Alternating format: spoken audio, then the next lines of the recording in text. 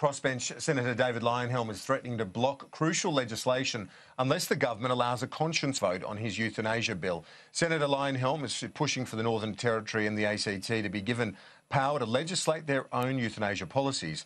He says the Prime Minister has reneged on a deal to allow a conscience vote on the bill in the lower house.